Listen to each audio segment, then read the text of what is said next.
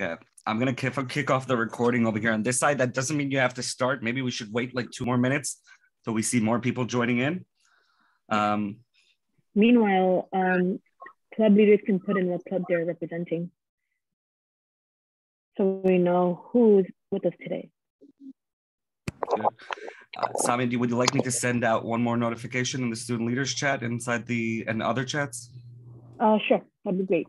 Thanks, Aaron.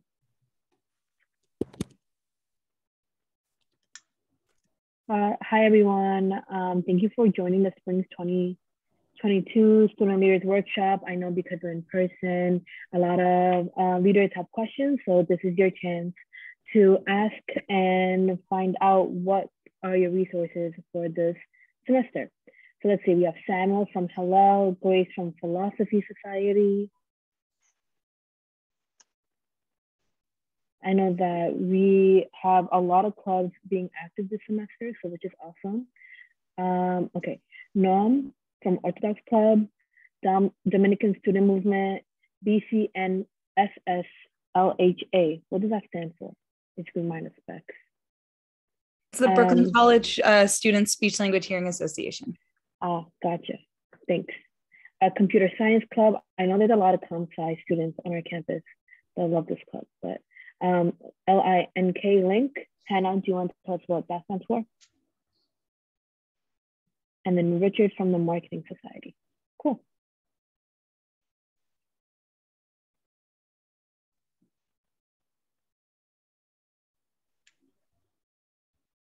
Um, but we'll get started in about two minutes because I know everyone has a busy Friday. So I don't want you guys to, and this is recorded, so everyone will have a chance to see it um, NABA. Do you want to tell us what that stands for? For sororities? Um, so it stands for um, A stands for NABA, National Association of Black Accountants. Oh, cool. Um, and I think you guys have um, some really awesome events, especially I know you guys had some events that were posted on our Instagram this uh, semester. So that's great. Um, and Louis has joined us from GS so, so which is great. Hi, Louis. Thanks for having me. All right, guys. Oh, voice. All right, so I'm gonna get started. Um, I'm just going to, okay, got it. All right, hi everyone. Thank you for joining the Spring 2020 Student Leaders Workshop. Uh, I was just asking everyone to put in what club they're representing, and we have some awesome representatives with us today um, from different clubs. And I, I'm gonna get started. All right, so first off, we wanna talk about the undergraduate student government. Aaron, would you like to tell us about what USG is? Oh, okay. I didn't know I had a part, but okay. Hi, everyone. Um, undergraduate student government. Um, okay, so undergraduate student government is the main place where all the clubs are under, kind of like the uh, uh, um, think about it as a kind of like umbrella kind of like thing. Um, so the undergraduate student government doesn't only deal with clubs, but right now we're in a student leader workshop, so we're going to also discuss that. But um, in general, we uh, do legislation. Uh, so if anybody comes to our Senate or cabinet meetings, you're going to see over there that we pass uh, resolutions. About uh, any topic that you can think about. It could be uh, uh initiatives that are coming in from NYPIRG. It could be initiatives that are coming in from student leaders. Um, but that's the part of the legislation. We have the advocacy kind of like part. So um, there's a lot of committees um, that we call USG governance or BC governance.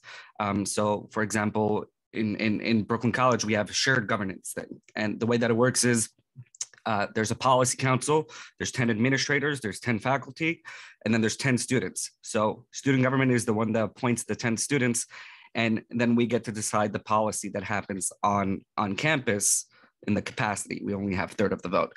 Um, we also host uh, uh, in-person events. Um, you might see us, uh, you might have gotten invited uh, earlier to movie night on the quad, um, finals and chills. Um, but we have all kinds of stuff that are coming up and you will all be invited to that as well. Um, we're also um, in charge of the student activity fee. So all of you may have uh, may know that you're paying, I think, $114.85 student activity fee. Now that student activity fee doesn't go all of it to student government. I believe less than $10 goes to student government.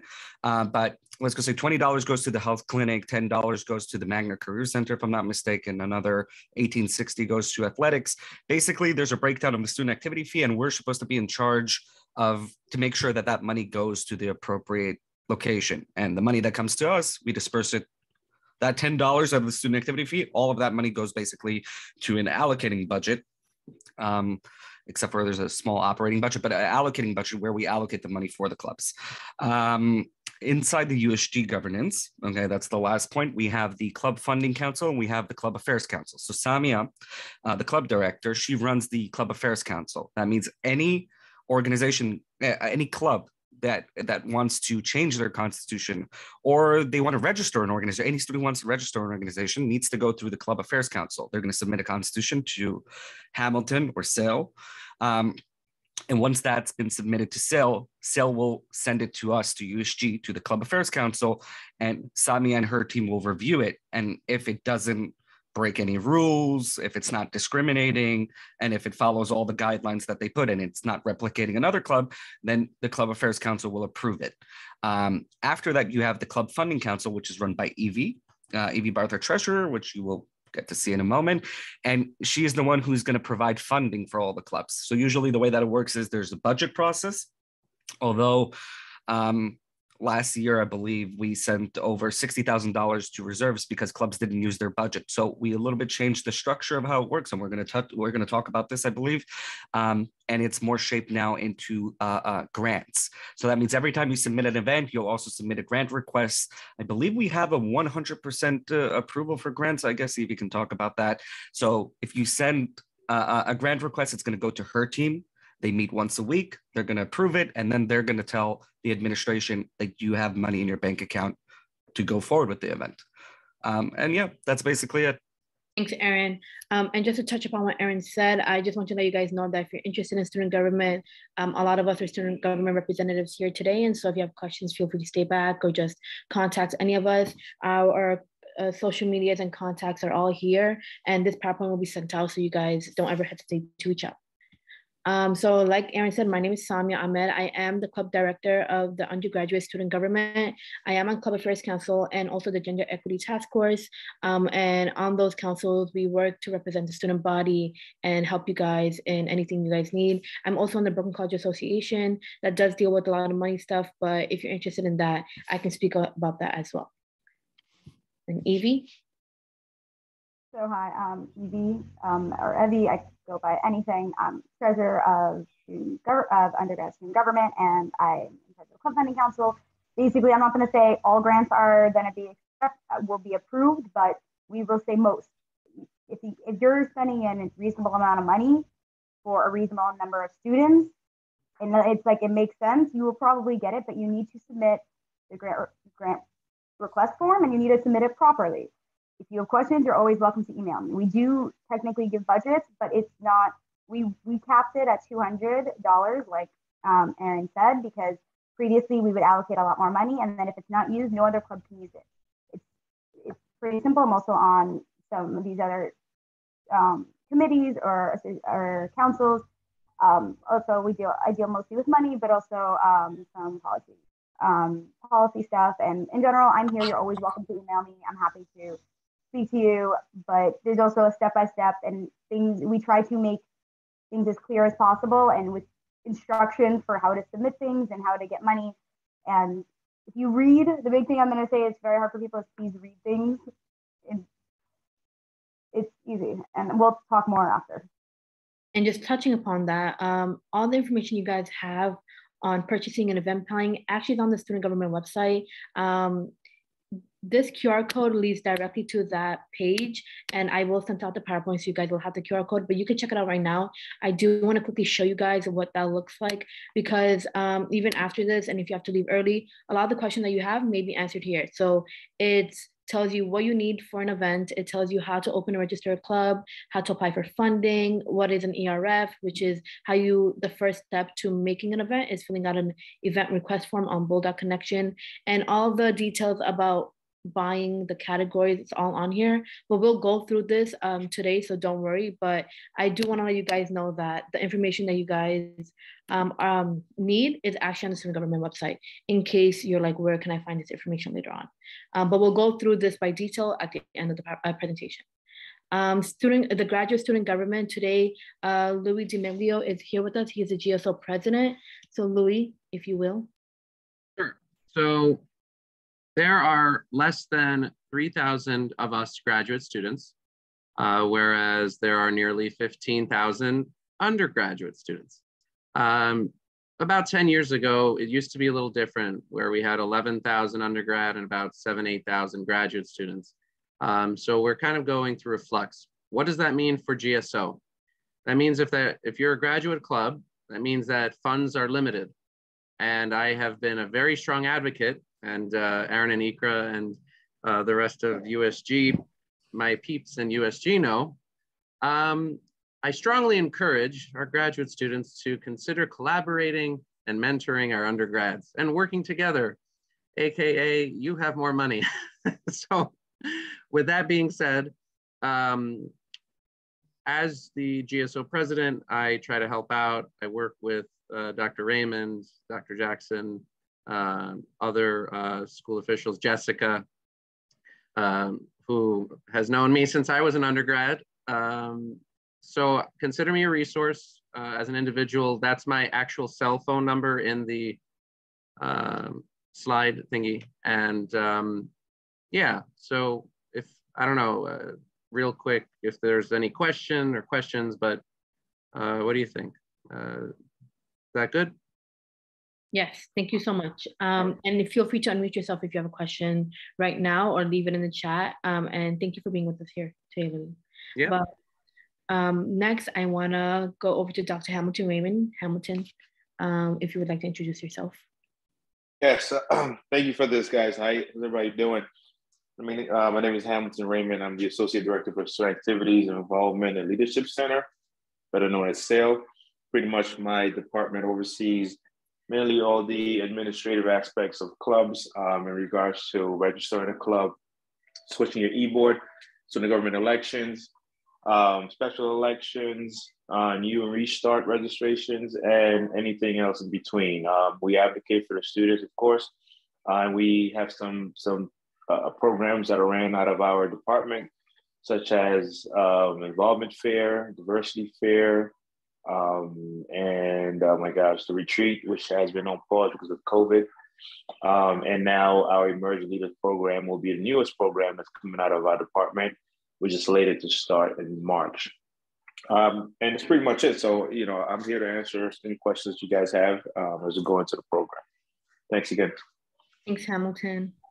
Um, and now Jessica Bradley. Hi, everybody. Um, uh, thank you for following up. Uh, coming today, I'm glad to follow Hamilton and Lewis and Aaron. Um, we all work together. Basically, I am the central depository admin. I work a lot of the time with Evie and Tom from GSO to do, excuse the life that's happening around me, um, to do a lot of the transactions and spend the money that they allocate to you. So I'm going to keep it very short and sweet so that we can answer some of the questions that I think you may have because I've been getting a ton of emails from a lot of the people that I see in the in the uh, group today. So hopefully I can answer some of your questions. We can answer some of your questions and we can help you have a successful semester.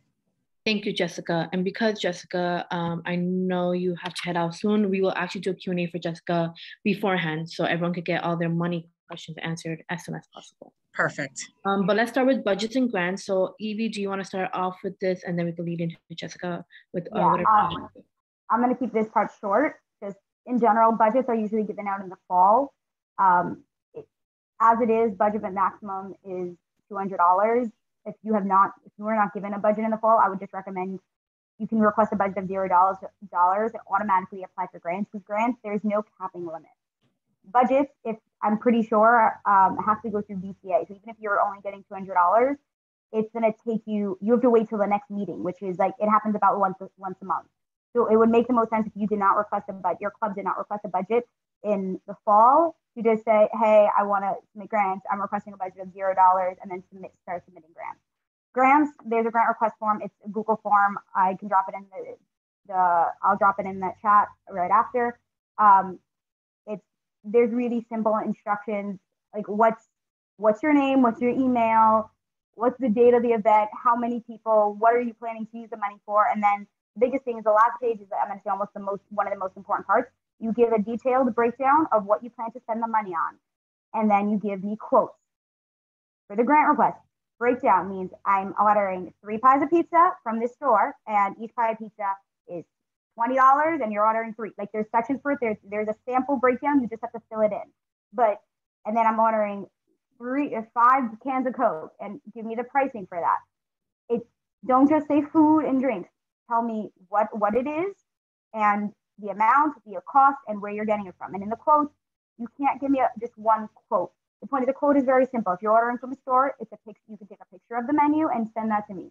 You just need something to confirm your pricing. And it's really important because people are, oh, what do you need it? Why don't you trust me? Why, don't you whatever.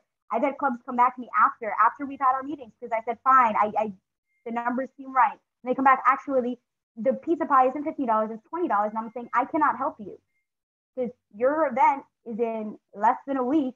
So we don't have time to meet again and give you more money. And you didn't check to make sure your numbers are right. And now you need money that I can't give you. So it's very important. You need to send me a quote for everything.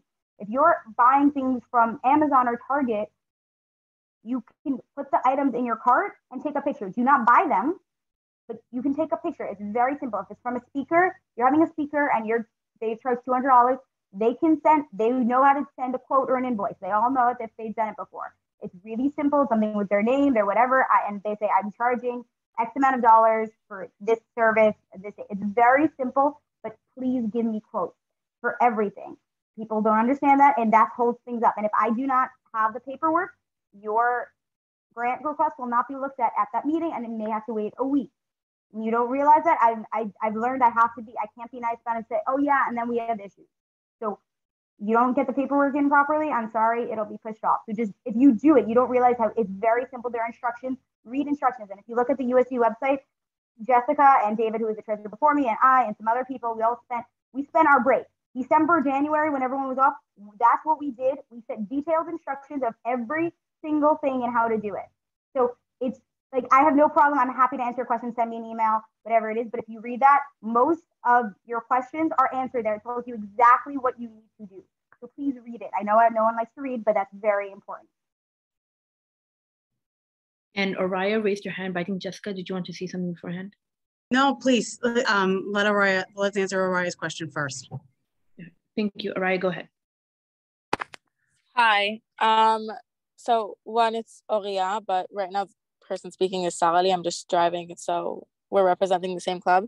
Um, in terms of BCA, uh, when is their next meeting? I can get you the calendar. They meet once a month. Um, I believe this the next meeting is the second week of March. Um, but I can absolutely send out the BCA calendar to everybody. It was just finalized this last week.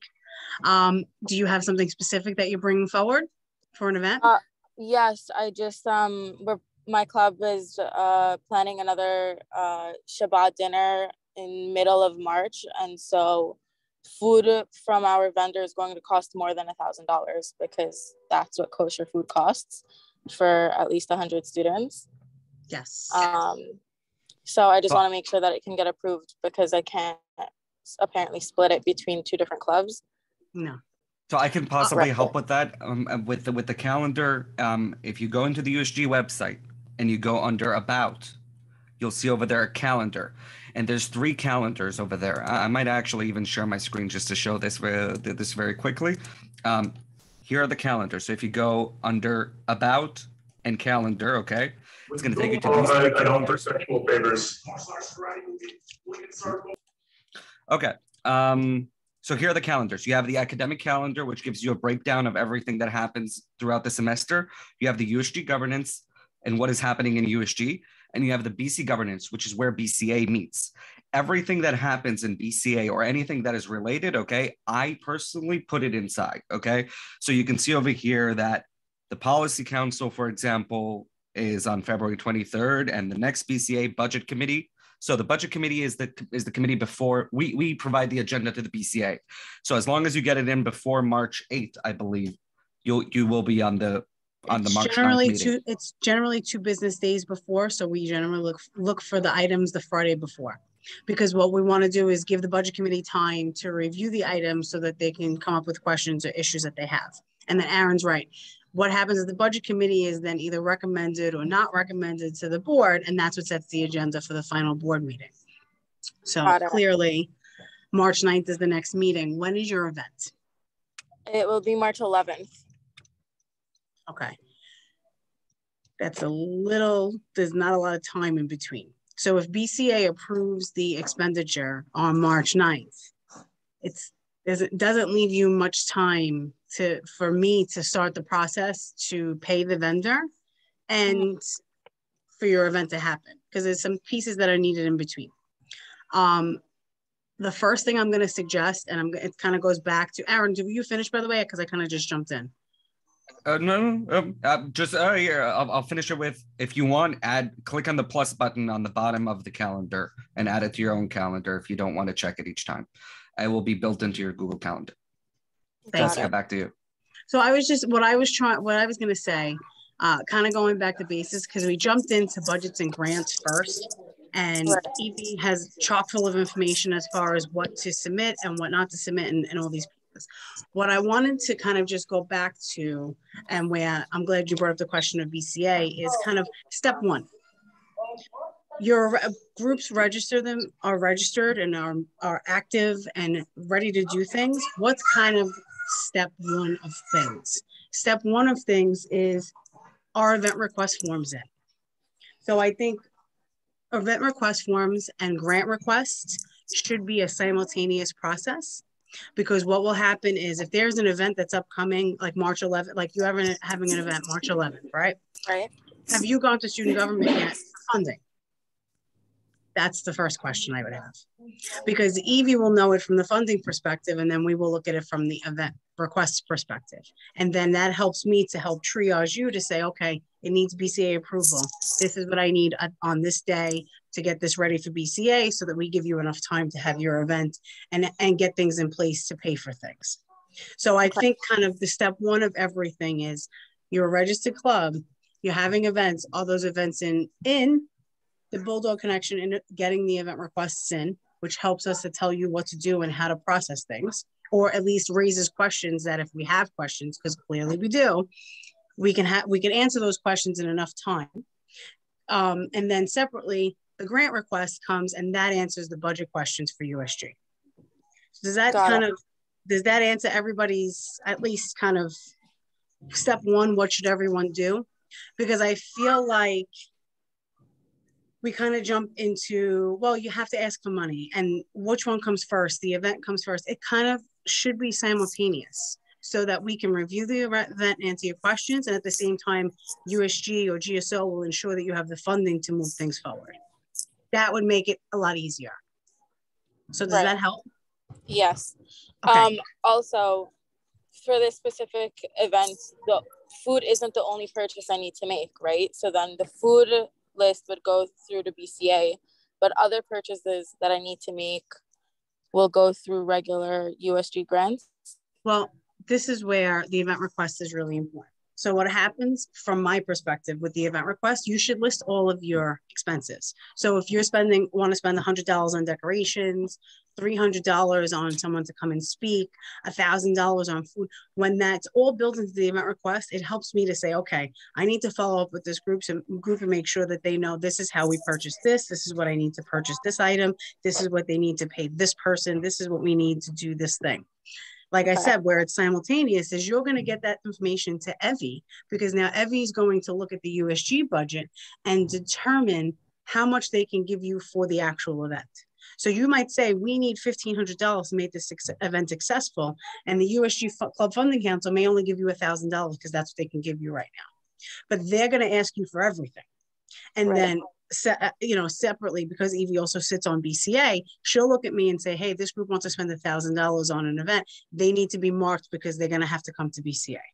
So we kind of just now, you know, flag it to make sure that the group meets BCA before their event so that they can have the event and it's, it could be successful. BCA doesn't tell you yes or no, you can't have the event. BCA's role is just the expenditure because we have that spending cap of over 999. Anything over that would need to be approved. 999, 250 to 999 doesn't need that same approval. And just new for the spring, anything 250 and under is handled straight in central depository. It doesn't need to go into CUNY first. It doesn't need BCA. It doesn't need extra approval pieces. It just Okay. a purchase form with me. So let's say, um, you know, you're gonna go to Sushi Tokyo for that event and you're gonna spend hundred dollars. You have a club purchase form with me, do your budget, we make sure that it's there, we sign off on it, you go to Sushi Tokyo, get your sushi, you come back, you bring me the receipt. Every event, I wanna let everybody know this, and this is all in that USG guide for events and purchasing. Every event requires a sign-in sheet and a flyer. That's a CUNY request. I know sometimes it doesn't always, it's not always, they're not always easy to get. And in the case that they, they a flyer wasn't made or a sign-in sheet wasn't gotten, gotten at an event, you'd have to justify it and explain why. Because I'm X, Y, and I don't know why you didn't do a sign-in sheet at an event. I can't advocate, I can advocate for you, I can't answer, always answer. Right. Um, so you want to um, make sure that the sign-in sheet, the flyer comes back with any receipts, and that comes to me. But that's a whole separate payment process. I'm talking about just kind of from the beginning. So like I said, step one, event request. Event request denotes what happens next. Simultaneous is the grant request. So kind of A plus B plus C, it kind of just rolls through. Got it. Okay. Okay, last follow-up No, question. please. Ahead. Um, in cases where, let's say I'm going to Target to buy decorations, or I'm going to a grocery store to buy some other supplies or cutler, uh, like utensils and stuff, I Mhm. don't, I won't know how much that will cost because I won't know what it is that I'm specifically buying until I'm in that store. So Correct. when I submit a grant, I will normally just give my, I give an estimate. This is how much I normally spend within this stuff. From past events, I'll be, I need around three hundred dollars to four hundred dollars. Sometimes it comes out less than that, but I, I don't have like a, a list of what it is that I'm buying until I'm in the store. an estimate makes complete sense. And things like that, I, this has come up a lot, and I want to just be very clear about this. Target, supermarkets, small stores generally are not vendors. I'm, I'm going to be quite honest with you. The vendor list that I've sent out to a number of students is poor. It's terrible. We're on the brink and the verge of coming back and being physically back on campus. What the issue is that we're having with the vendors is we have a number of vendors who want to be paid immediately that we can't do. Um, and they want, they're afraid to work with the college because they want to be paid. So what's happening is we used to have more vendors on the list. Now that I've reached out to a lot of the vendors and said, hey, we're back, the students are, are back on campus 70% and we're doing in-person events. Are you interested in working with us? A lot of them are not interested in working with us. Small businesses have been completely impacted by the COVID tremendously. Right. So what happens is our vendor list is shrinking. Where that comes into play is when you have student groups that want to go purchase decorations and go to Target and do all these things, they're not on the vendor list. So what that prompts is you need to do reimbursement. I don't love reimbursement. Not that I don't want to give you back your money, but they're not guaranteed. So what happens is, let's say you go to Target and you lose the Target receipt and you say to me, I went to Target, I spent $150 of my own money, but I completely misplaced the receipt. Without the physical actual receipt, I can't do anything. We're not going to be able to reimburse it. So I try to discourage people from using their own money. Excuse my two-year-old, who clearly doesn't understand Zoom etiquette. Um, but uh, you know, she, um, you know, if we cannot provide original itemized receipts or a backup and justification reimbursements may not happen. So where that creates a challenge for the clubs is those vendors are not on the vendor list and you may not be able to reimburse me. How am I going to do this? So Right. we're working through that. It's totally a challenge. So, an answer to your question, when you go to USG, I think it's very smart that you give an estimate. You're not gonna be able to say to Evie, I'm spending 201.56 because that's exactly what I know what I'm spending. It might be around 200, it might be around 250, but this is what we're allocating in the budget for X number of thing. And then you will where her assistance and my assistance is going to be okay. They want to spend $250 in Target. They have the funding to do so. What's the best way for them to make that purchase? Is it easiest to do a reimbursement? And if it's easiest to do a reimbursement, we'll guide you that way. Is there another way to process things? I will guide you if there's another way to process something. So it depends on the transaction, and every transaction is going to be different. So, in answer to your question, I think you're doing it the right way. It's just going to be what you're doing and how we help you to process that is going to remain to be seen because we're still kind of working through every transaction. Does that answer your question a little bit? Yes, thank you. Okay. And so you can always reach out to Evie or myself if you're just not sure. I know a lot of groups do, and I have to also, Evie, just hold that, hold that one second.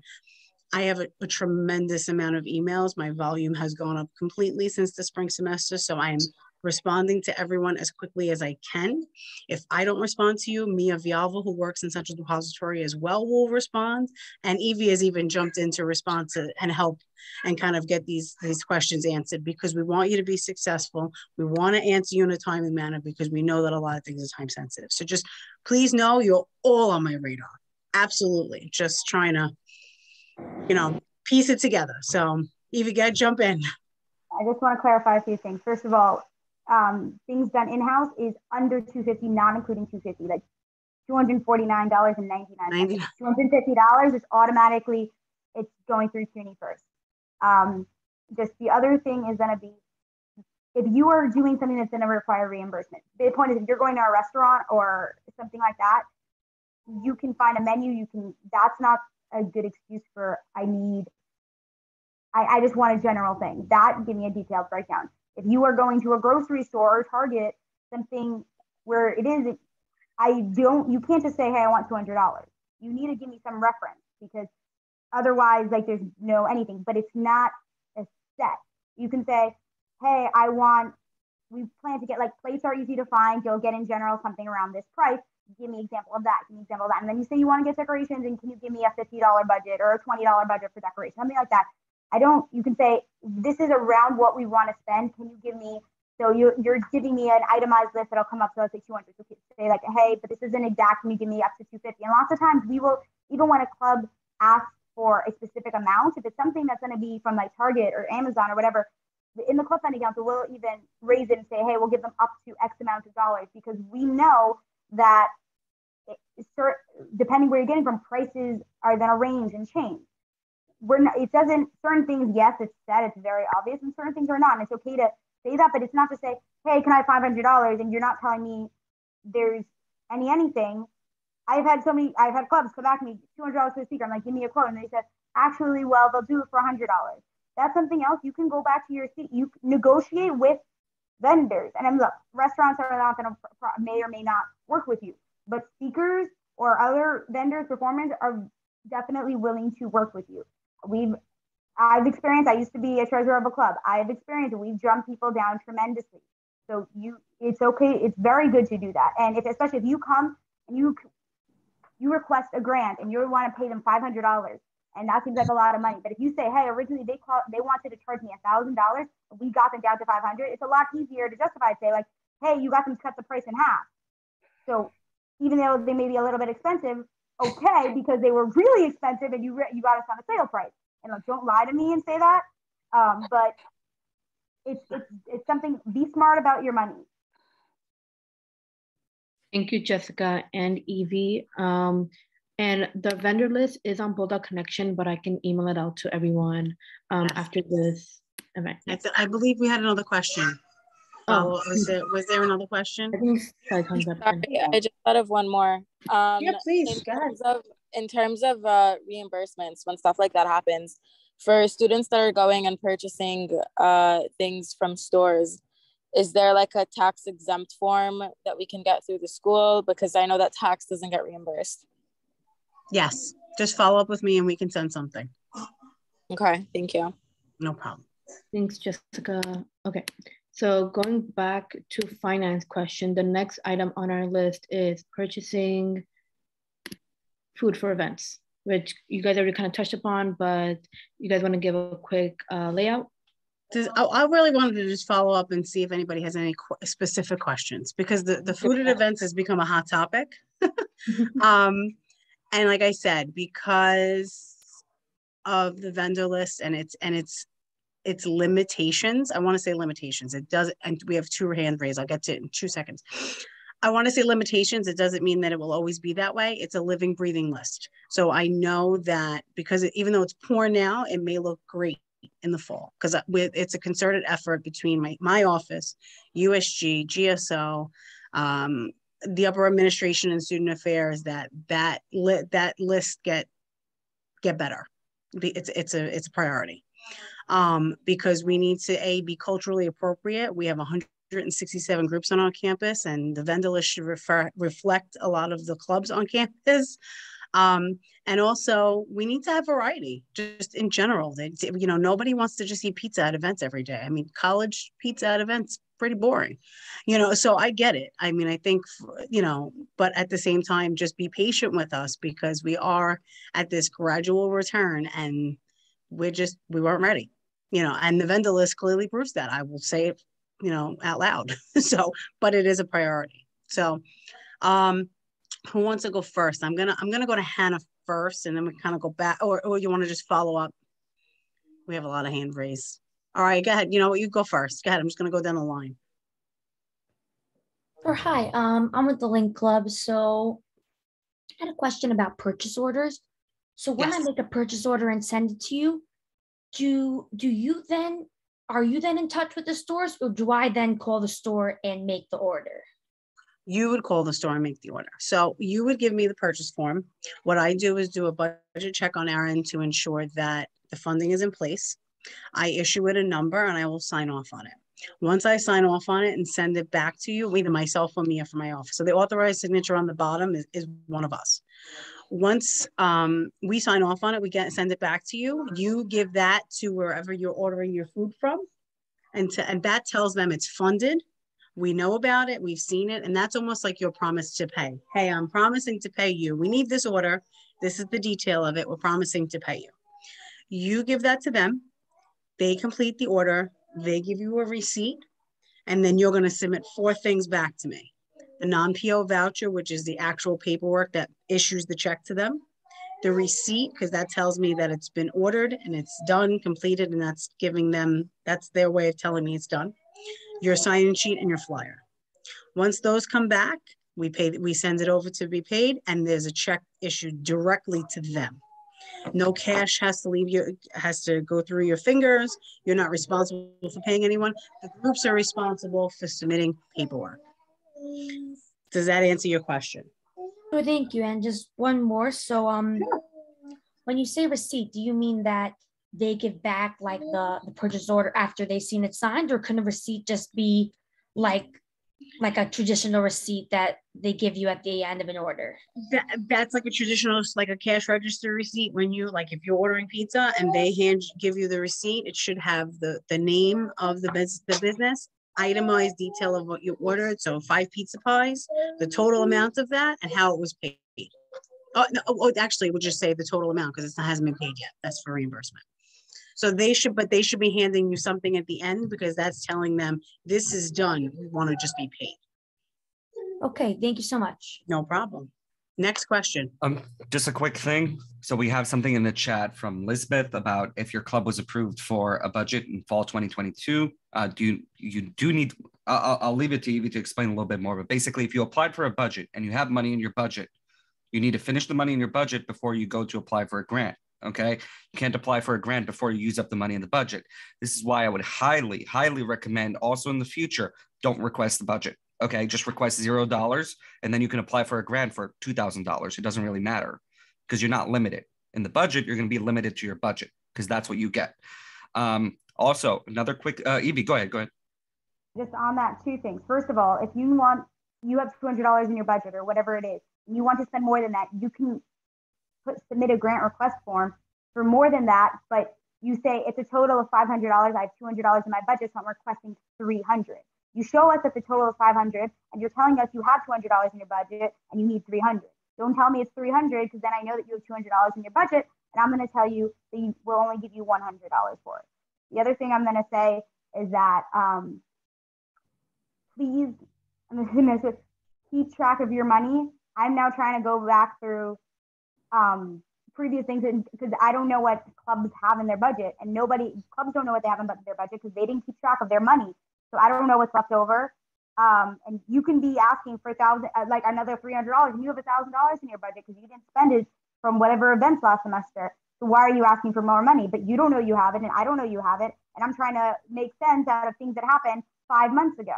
The other thing is also if you cancel an event, right? This is really important and really, really, really important. If you cancel an event, you must email me, you must email Jessica, and you must email SEMTI. The place where you submit an ERF, it'll say it in there. There'll be emails you can put in the discussion tab. You must say it is canceled or something has changed. Because otherwise, even if I gave you the money, I think it's good. If Jessica gave you the money, we think it's good. I gave you the money. We think the event happened. Jessica's going to go chasing the vendor trying to pay them for something that they never did. This has actually happened. So we need to know if something is canceled or something has changed. If not, I, I, am saying this real. It is going to be if I find out this happened and you did not inform us. I don't care if you cancel it the day of. Just tell us. That's all I care about. If not, gonna, it'll be very hard for you to get money. I'm going to jump in for two quick seconds. I also sent an email. I, I don't want it. To, I, I guess for, for the purposes of this conversation, we've had a lot of challenges this year, and clearly you can hear some of the frustration.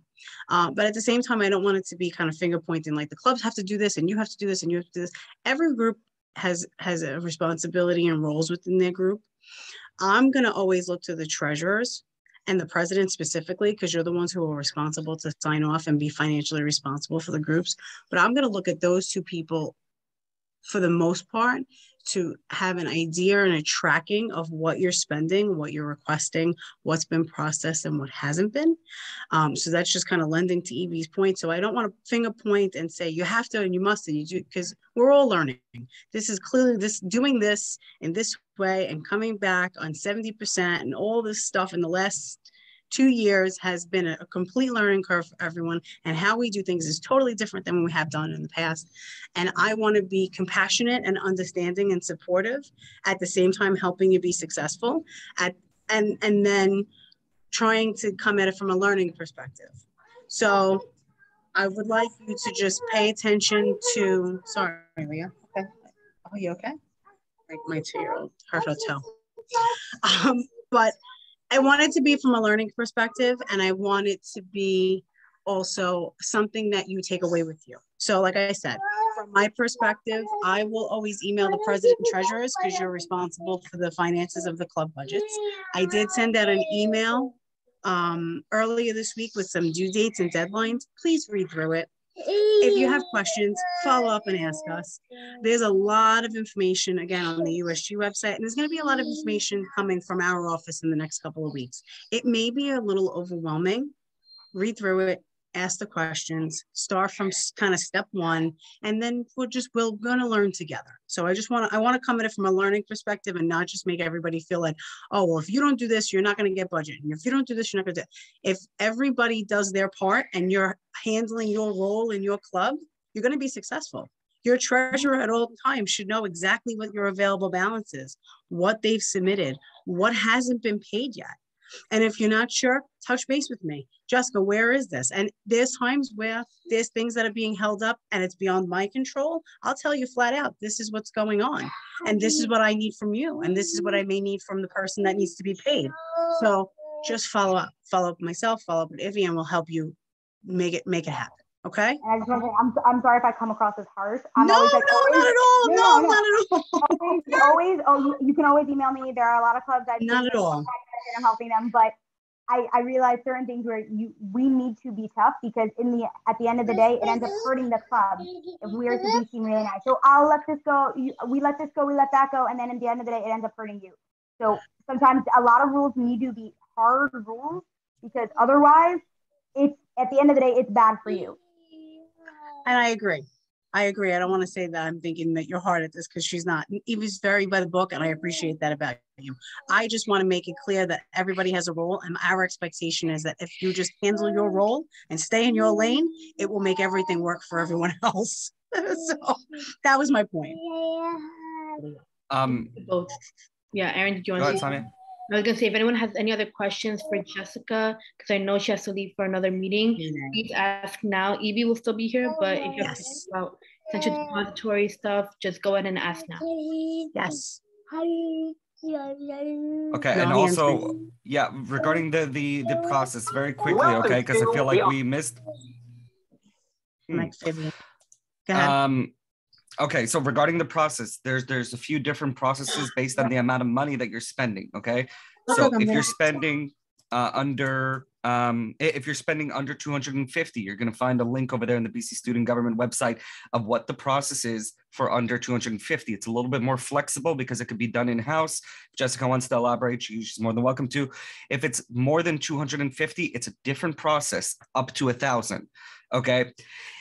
If it's above that, okay, above a thousand, it needs to be also checked off basically by the cabinet. Okay, so that means once Evie approves the money, it's going to come to the cabinet. Okay, and the executive cabinet will vote on it. And once it been, it, once it's been approved by the cabinet, it's going to go to the BCA. The BCA is the Brooklyn College Association, and they are going to approve it. It's supposed to be very clear on the website and what you need to click. So usually, what you want to aim for is less than 250 if you can. If it's above, you'll see the process of how to do that, and it should be very straightforward. And everybody is very accessible with these with these stuff. Another quick thing about reimbursements. Okay, um, I believe, and this Jessica can probably elaborate on this as well. If you get reimbursed, a lot of times you're not going to get reimbursed with tax uh, unless you have a tax exempt form. Okay, so just think about it when you're placing items. Okay, I mean, in one in one way, it's maybe easier for you to ask for reimbursement, and you don't mind. I'll pay a hundred dollars, but you're not going to get that that tax. So think about that. And uh, yeah, Thanks, Aaron. We have a question from Lamek Fabian. Feel free to. Hi, yes. Uh, you guys can hear me good, right? Yes. Awesome. Okay, so I had um, I had a few questions about, uh, I guess, event request forms and like purchases and all that. So, um, this when doing when doing purchases, the those forms, um, I haven't looked at the USG website, so I'm not sure if that information is there. Uh, we'll do so after after this meeting. But those forms are to be submitted through both the connections alongside the ER, the ERF, right? The purchase forms will be submitted to Central Depository. So it can either come directly to me, my email, you have my email because we've been going back and forth, or you can go to the general office email, which is cd at brooklyn.cuny.edu. Um, so the, any of the purchase forms and items for purchasing would come to me. Thank you, Samia. Any of the grant request forms, USG forms would go to Evie. And then that's the simultaneous process to doing the items in Bulldog Connection. So you would see, you would set up an event request form through Bulldog Connection in your portal. And then any subsequent forms would kind of, would go to me or Evie, depending on what they are.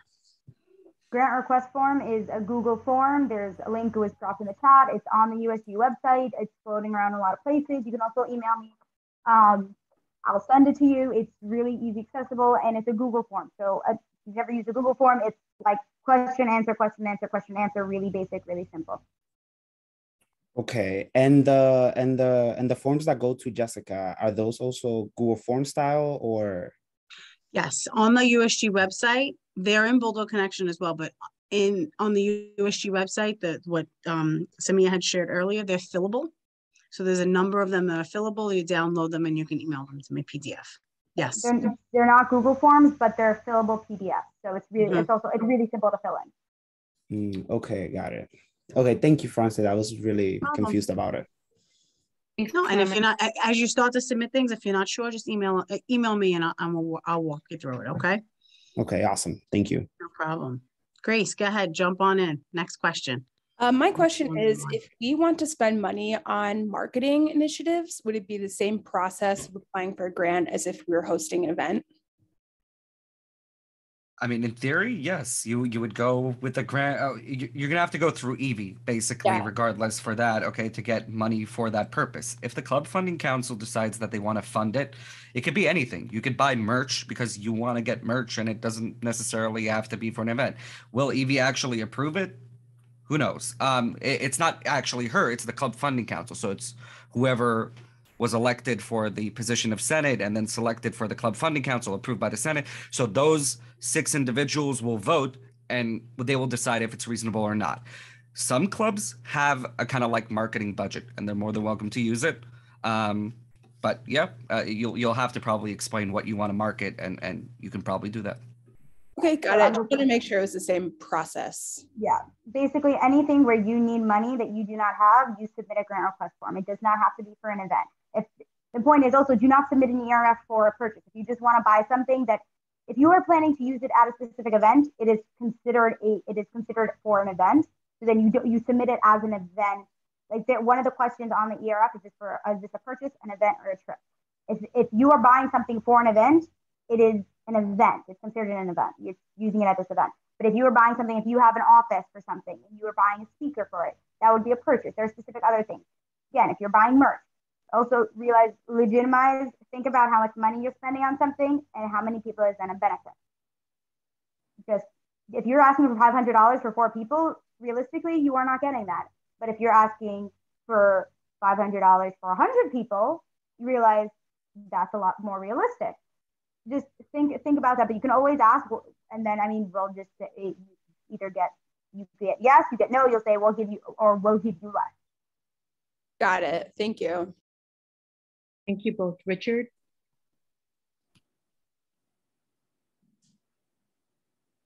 I don't think Richard can't hear you. Sorry, I forgot to unmute myself. Um, I want to know if we could use the budget for um, uh, professional services or like web hosting services for our website that we're going to be developing. Um, can I use the budget for those areas? Um, I'll, I'll take that one. Um, yeah, in a way, yes, but also in other ways, uh, no. So let me try to explain it and break it down. Bulldog Connection is basically the services that we are purchasing from the student activity fee in order to use that to promote your own club. Okay. So in theory, you would be hosted over there on Bulldog Connection. Now, between us, I know how terrible Bulldog Connection is, okay, which is why USG is pushing an initiative of actually replacing that vendor, okay, which is Campus Labs or Engage or however you want to call it. We know it as Bulldog Connection. We're replacing that, and in the upcoming meeting in Fe- in, in March third, we're going to be voting on a replacement in something called Campus Groups. The new vendor, which hopefully will be up by June, okay, we're going to start working on that June July, okay. That new vendor will allow you to create websites on that platform. Okay. So if you do have a web hosting service, I would I, I would just say you would have to legitimize why you want to have uh, why you want to pay a specific website for that purpose. And Evie can basically Evie and, and, and her team will basically look at it. And if they think that it's reasonable why you need the website, um, then sure. Uh, but if not, then you'll just be referred to the new platform where you're going to be able to build the website. Uh, regardless, I personally have been uh, offering uh, um, uh, uh, websites, uh, templates. Um, so I know that Grace recently got, I think two days ago, a template of a Google website, and I provided her a domain. So basically, it looks like um, your club name .brooklyn.cuny.club. So if you want a website like that, reach out to me. I'll send you a template. Create your own website. Enjoy. It doesn't cost anything.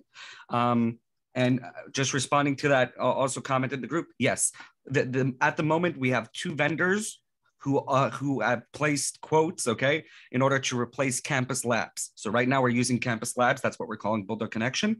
The new uh, uh, group uh, that, that that has submitted is uh, uh, Campus Groups, uh, which Macaulay is using, and CCNY, and uh, Rafter.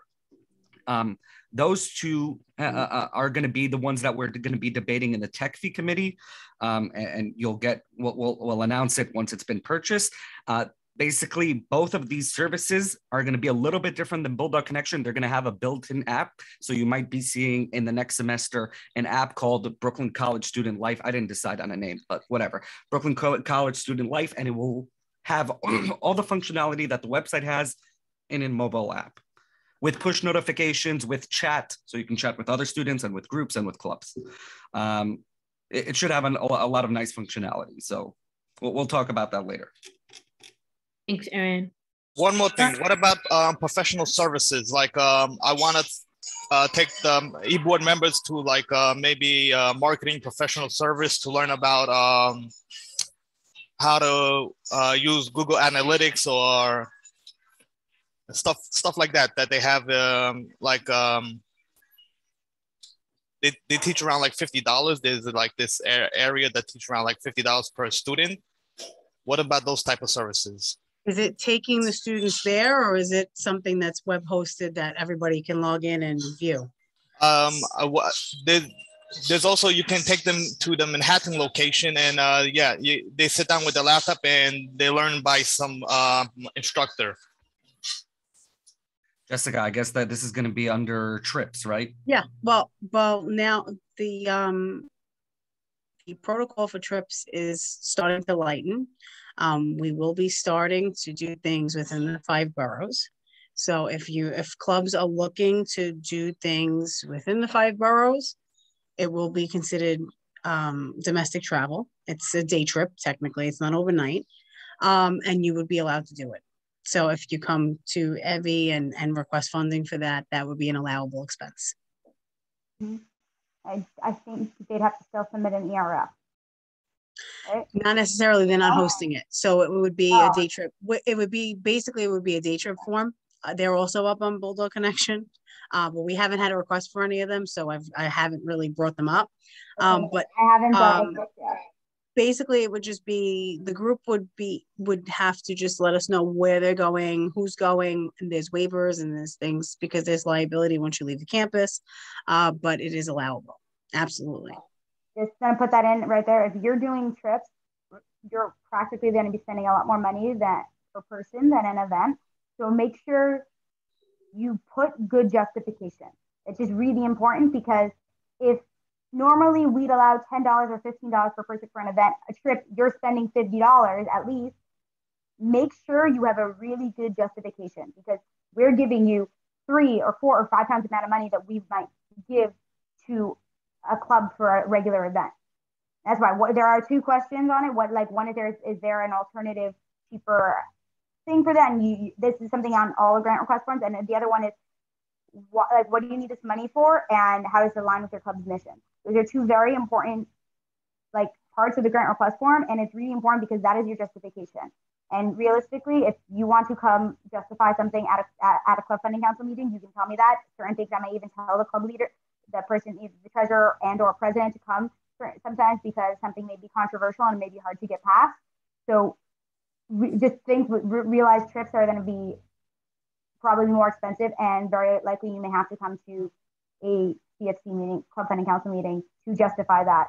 Um, they're online, but like in person online during the time.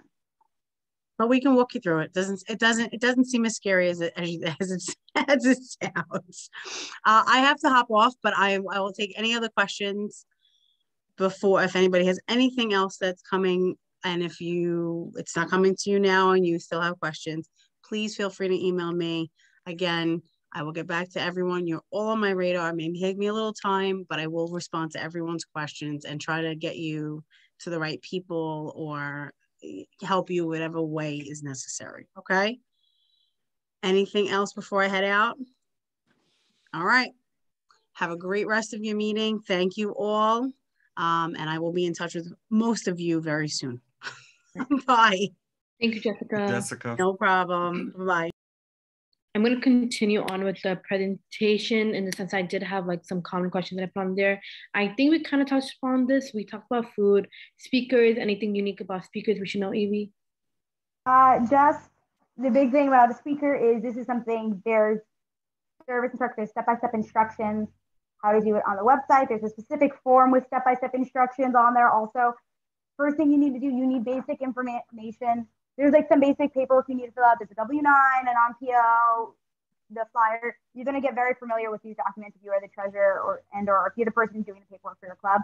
After the first or second time, it should be pretty simple. But before you submit this, you have to get the vendor's basic information their phone number, their address. It's it's listed all there, and send it to Central Depository. There's an email there, and the point is that basic information they have to input into CUNY to make them to start the process making them a vendor. So that is the first thing. So even if you don't, it's not like get the paperwork and then this and then then send that email. It says that's the first step, and that's the, that's the really important. Like even if you don't, you don't. That's the first thing to do as soon as you know you're having a speaker. Even I'm going to say almost before, if you know you're having an event, you want to use a speaker, you can say you can even reach out to Jessica and say like, hey, I haven't gotten through the process yet, but I know we want to make them a speaker, and here's the basic information. Like this way we can get that process started. Um, this is a very important thing that people also don't realize is there's an ERF you need to submit, there's the grant request form, and there's also not in every case, but in most cases, you still need to reach out to Jessica. That is a third step. And because it's not a form, it confuses people and they don't realize it's there. Paying a speaker, you can get the ERF says the, the event is allowed to happen. The grant means if we give you the money, your the money is in your account but you can the event may be allowed to happen and the money can be in your in your account but if you don't reach out to jessica and do that paperwork then nobody is going to pay your speaker or nobody like the food will not be ordered for your event things like that that is the third step that you need to make sure to do and because it's not a document people don't realize it's there um, got it.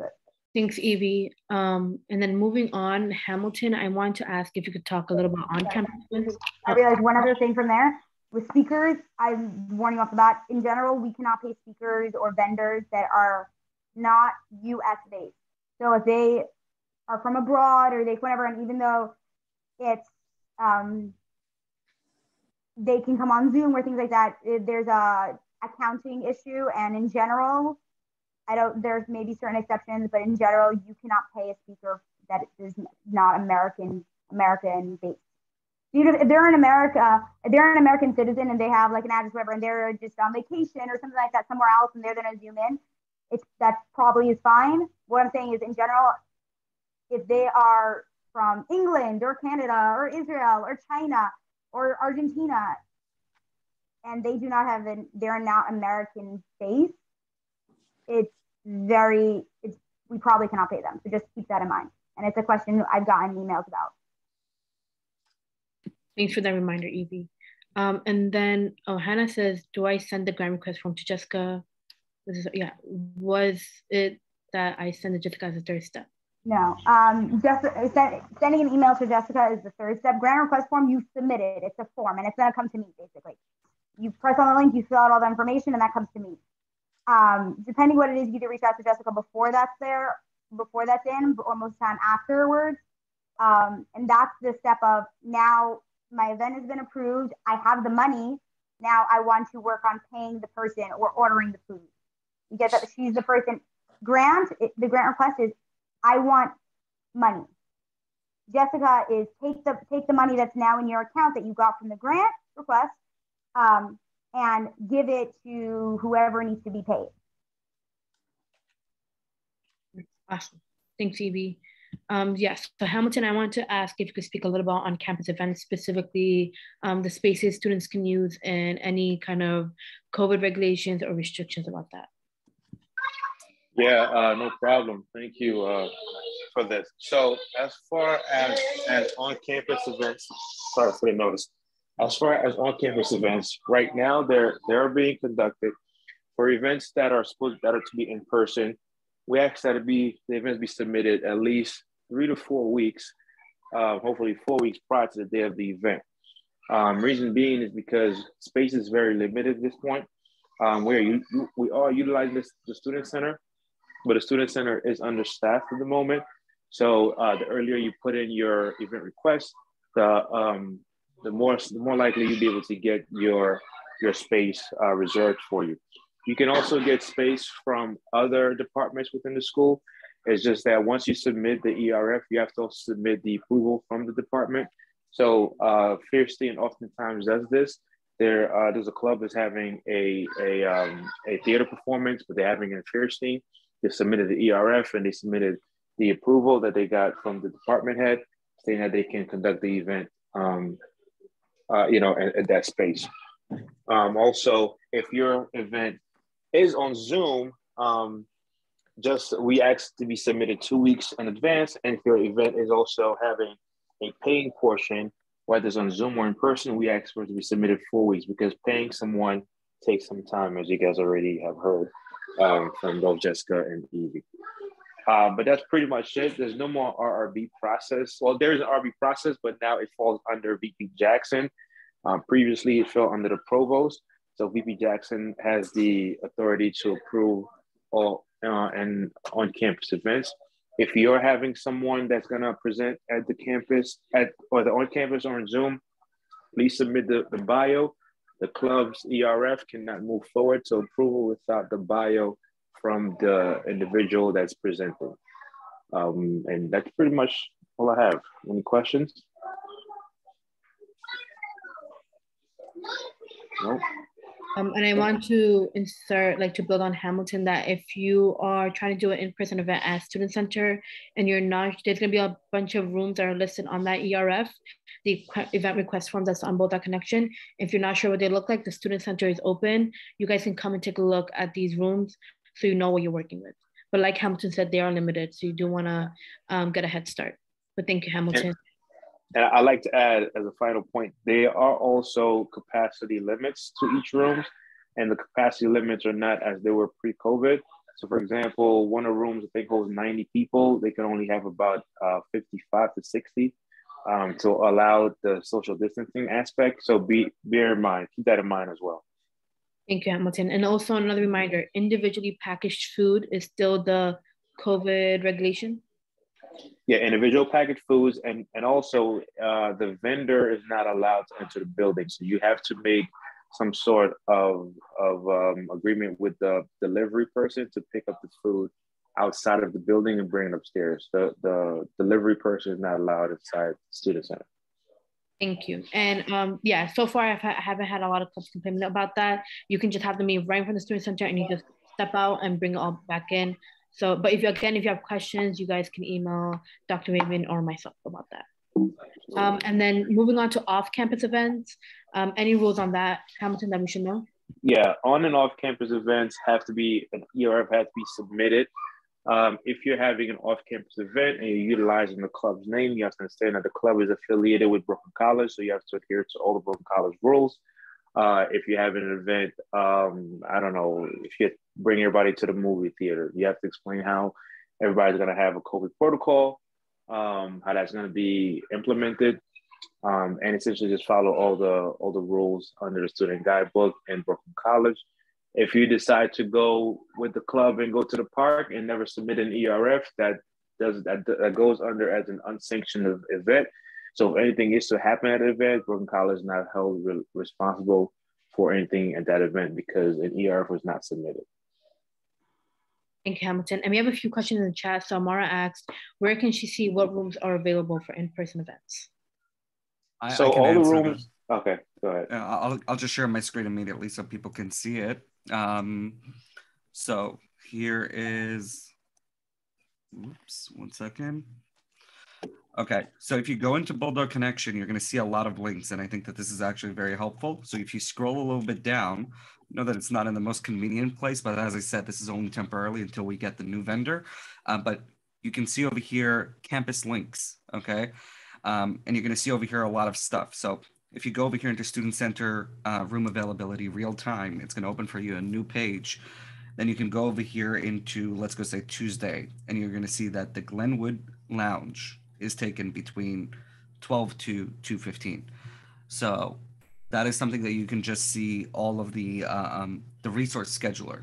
Um, now, if, if you don't know what I'm talking about over here and you don't know what is the main page in Bulldog Connection, then at least in, through the event request form. So when you're submitting something new, an event request, through that process, you're going to see over there the option to see all these rooms, okay, and detailed uh, um, uh, instructions.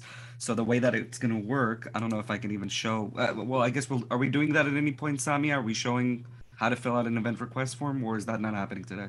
Um, it will happen. It will happen today at the end. Yeah. Okay. So we'll wait with that. But through the event request form, you're going to see a link to uh, uh there's going to be a link to exactly the capacity that you have for each room. You're going to you're, you're going to see the set of like let's go say uh, um circle tables or I don't know, auditorium style in each room and what, what is being provided and what you can request. And you'll see also a link for the availability. All of it is through the event request form. So don't worry, while you're filling out the event request form, you're gonna see that over there. Does that answer your question, Amara?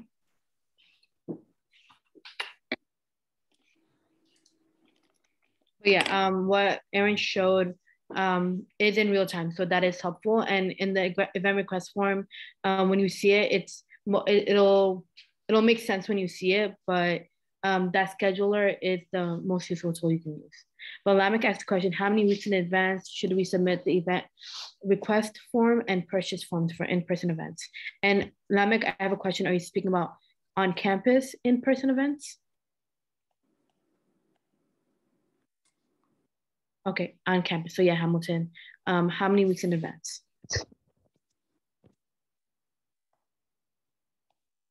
Sorry. So um, the timeline for on campus is we ask four weeks before the event.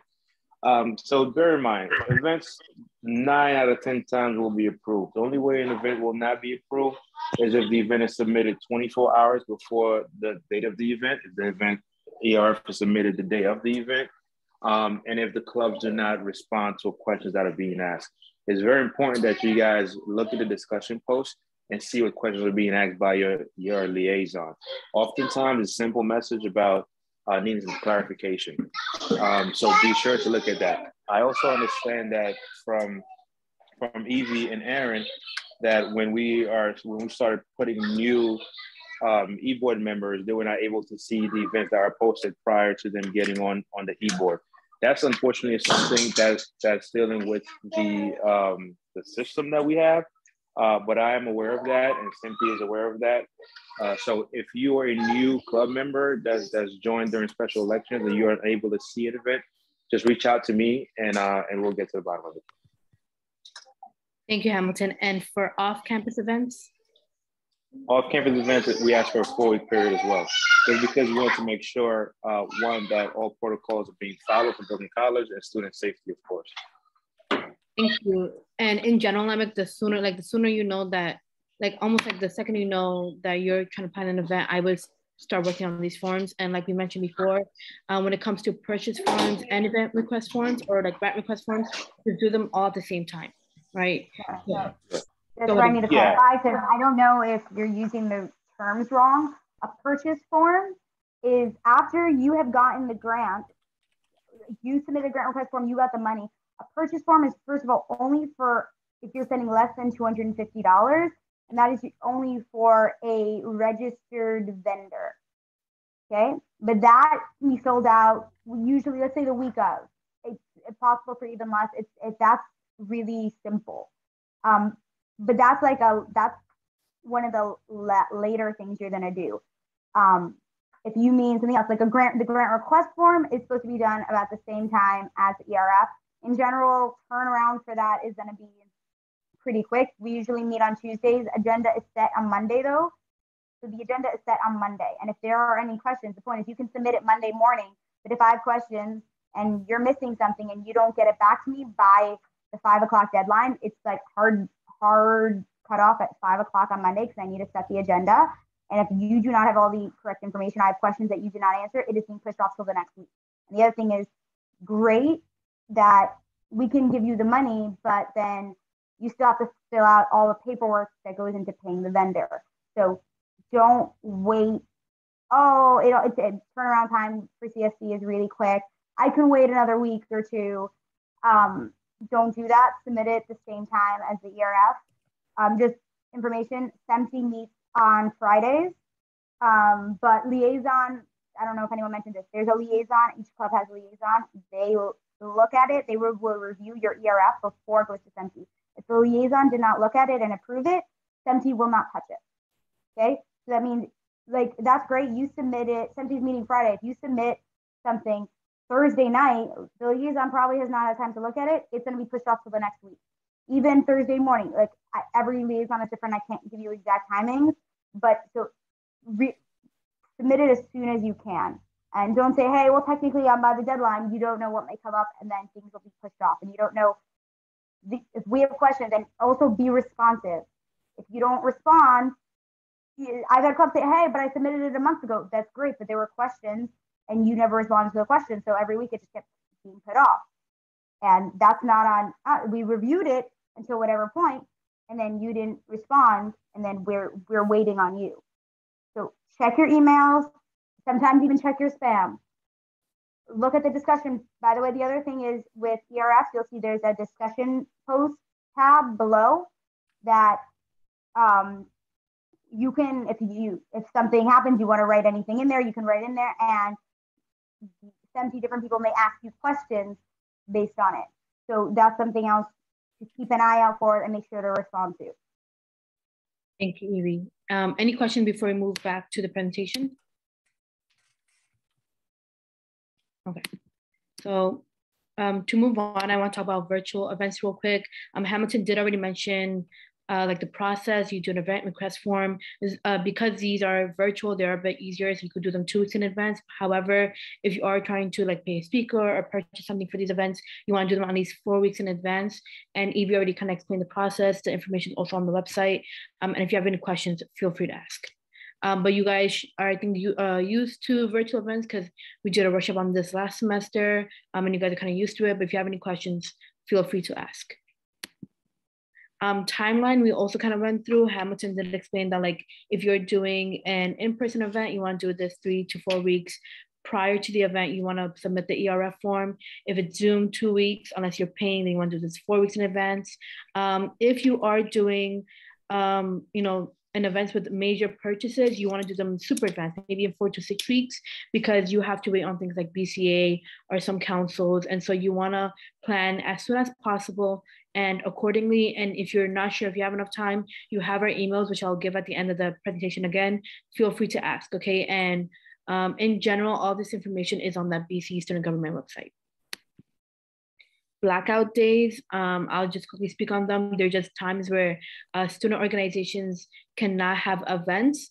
And so these are typically when the college is not in session. So spring break and like summer when we have no classes. Essentially when there is no classes, um, on campus or classes in general, you should not be holding a club event. Hamilton, is there anything else that you'd like to add on this? Yeah, so the only time you uh, you can be subjected to uh, submitting an, uh, an event during this time period is within um, exemption form. Exemption form is literally just justification as to why the event has fallen on one of those two, uh, a date that falls in one of those two time periods. Um, and that gets reviewed by SEMT, and SEMT approves your exemption, then the event can happen. But by just submitting it without that, event will not get approved. Thank you, Hamilton. Mm-hmm. And then lastly, important dates for you guys to remember. So this QR code does take you to the BC Student Government website with these dates on it. Um, club registration, um, this is a time period, like a lot of new clubs are have come and asked about, you know, starting up you know, like a party club. So how would that process go? I can walk you through it. Um, all this information is also on that BC Student Government website. Um, and usually you go through Hamilton and SAIL, and then if it's a constitution that needs to be reviewed, the Club Affairs Council, which I um, help lead, kind of goes through it, but the time is now, okay? And if you have questions, feel free to ask. But um, this is also, if you're restarting a club, this is also the time to do this. And the club registration period for next semester, so in fall 2022, would be in this April to May period. You would have to hold elections. And usually when you have a new e-board, you make them do Spark training, which is on their Blackboard, and that would be in June 30th that's the deadline for it. But we will send emails about the last two towards the end of the semester because that's usually when you guys are more concerned about it. Um, but if you have any questions about starting a new club or restarting a club that has died out, feel free to ask. That goes for undergraduate student government and for GSO as well. Um, if you guys have any, any other questions, feel free to ask right now. I will remind you guys that this PowerPoint um, will be sent out as well as the recording.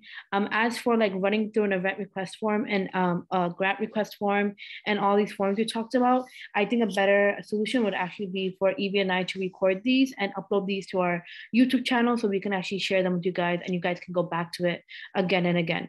Um, so, and I know you guys have been on here for a while, so we'll do that instead and I'll include that and email it out and put it in all the chats and our Instagram instead. Is that fine, Aaron? Yep, Right. that sounds good. Sounds good. And any other questions you guys have? Thank you all for being here, by the way. But if you have any questions, feel free to ask.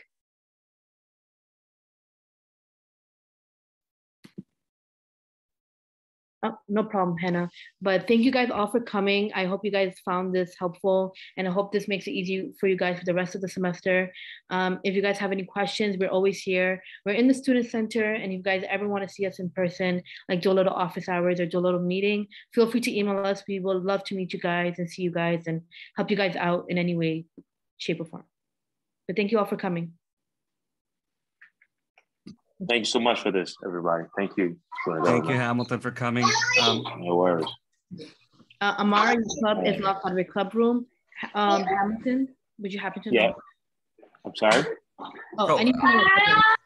I, I- I can answer that. I think um, th- there's only at the moment there's no club rooms unless uh, Hamilton, if you want to correct me on that. The last I talked with VP Jackson yesterday, he said that there's no club rooms available at the, at, at this point, and they're not planning on opening it. I, I don't know if that's going to change throughout the semester. Hamilton, do you have any input on that? Yeah, no, it's not changing this semester. There is no club rooms that's going to be available for student club semester. However, if you have items in your club room that you need to pick up, just contact student government and schedule a time with them to, to come pick it up. But as of now, uh, club meetings are, are virtual this semester as well. Thank you, Hamilton and Aaron.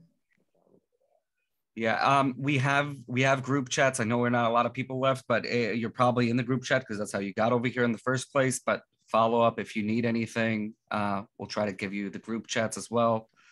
Um, and yeah, and and there's hopefully updates coming to the Bulldog connection and everything soon. So yep, Hey, can I throw in one last question in there? Sure. It's for Hamilton. Uh, to submit that code form that you were talking about, how what's the process of that again? I'm sorry, submit which form? Uh, the COVID forum, if the event is hosted for more than whatever amount of people. So there isn't actually COVID form. You just have to submit what's called an ERF, event request form, and that's through Bulldog Connection. Um, and if you're having an event that's, uh, let's say, with a lot of individuals, we will ask you sometimes to just clarify how you're going to adhere to the COVID protocols to ensure that everybody has social distancing, masks, sanitizers, you know, uh, prepackaged food, things of that nature. But there is a separate COVID form that you have to fill out. Okay, thank you. Yeah. Okay, no problem. By the way, event request form, very simple. It's just you click on create event under your manage portal and, and, and Bulldog connection. It's literally creating an event. That's the event request form. It's not a really, it's not a specialized form. It's just click on create event and follow through.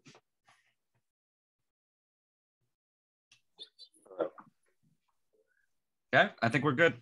I'm gonna stop All the recording. Thanks, Good. Hamilton. Thank you, guys. Thanks, Lou. All right, enjoy.